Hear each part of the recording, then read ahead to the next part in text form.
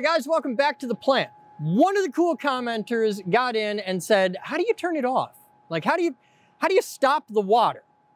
I can show you this. It's actually really cool. It's a very high-tech system that involves giant steel plates and little tiny wooden pellets. You know the pellets used for a, a pellet stove? We use those to hold back the power of an entire river.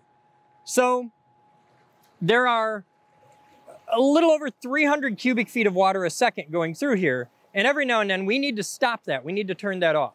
So the way we do that is behind the gates back here, we have these big steel plates.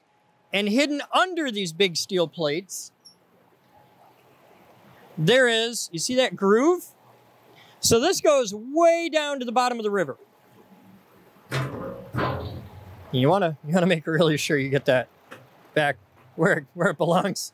You stand on that and fall through and you're gonna have a bad day. A short one, but it's gonna hurt for the entire rest of your life. All 12 seconds of it. So what we put down there is called stop logs, which on their own don't really stop the water and they're not logs. They're, they're giant steel plates.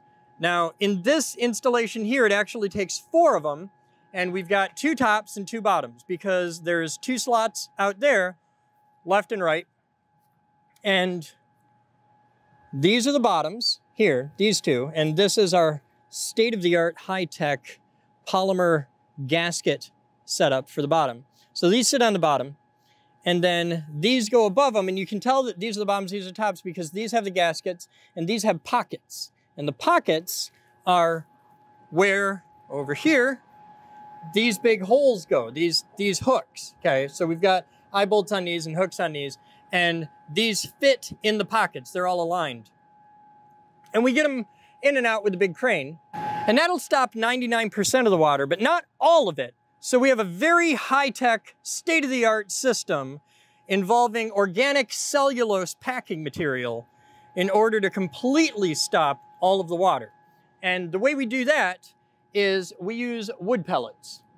The, the exact same pellets that you use in a wood stove, like to heat your home, is what we use. You get 50 pound sack of those and you just start chucking handfuls in there and the wood pellets will get picked up in the water because they're, they're biodegradable, they're totally organic, they're completely environmentally harmless. I mean, the, the amount of wood and twigs and sticks that, that we have to clean out of the grates here that's already in the river is nuts.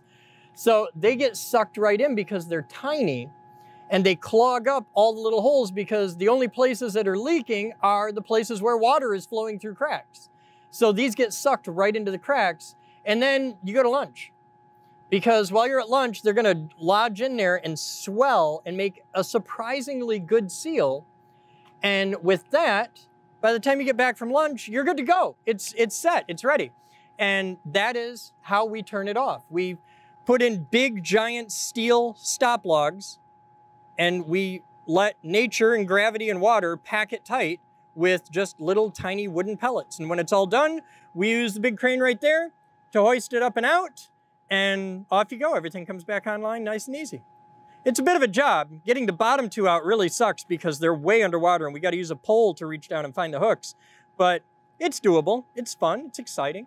And that's how you do it. So now you know how to turn off a hydroelectric power plant. You guys have fun. I'm Chris Boden, and as always, I'll see you next time.